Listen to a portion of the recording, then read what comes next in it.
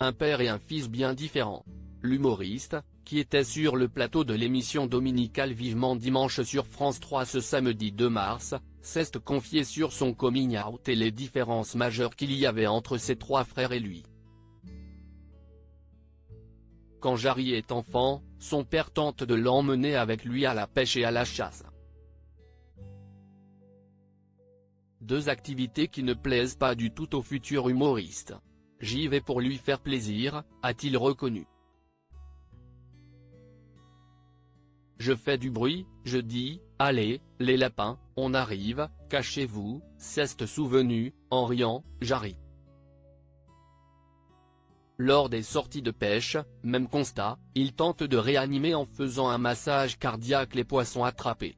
Tout ce qu'il me propose, à chaque fois, je suis en opposition, ça ne correspond pas à ce que je suis fondamentalement, a reconnu l'animateur de Tout le monde veut prendre sa place.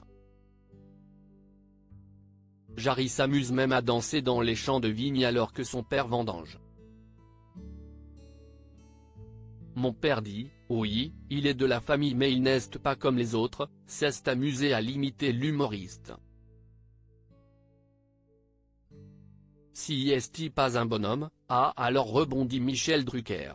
Si est exactement ça, a répondu Jarry.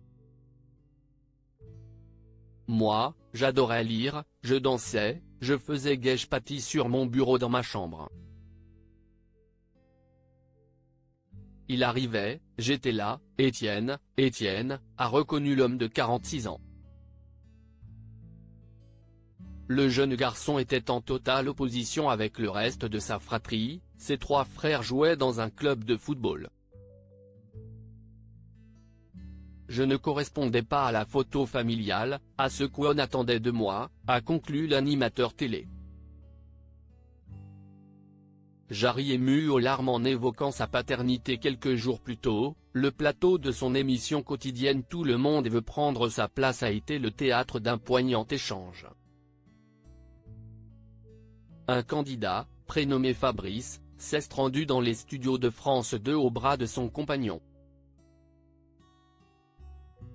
Très ému face à Jarry, avec qui il partage non seulement une ressemblance physique, mais également des traits de caractère, le Lyonnais a tenu à faire part de sa future paternité grâce à un parcours de GPA, gestation pour autrui.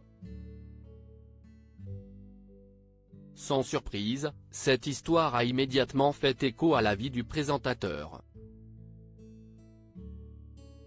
Et pour cause, l'humoriste est devenu père de jumeaux il y a près de 8 ans par ce biais, aux États-Unis. Il leur a donné un précieux conseil, préparez-vous, vous allez vivre une histoire incroyable, je te le dis, Fabrice. Souviens-toi du moment, la première fois où ton enfant va te dire papa. On s'en souvient toute sa vie.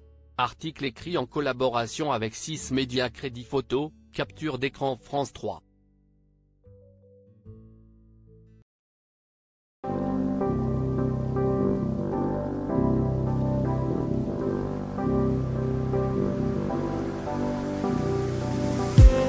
I just need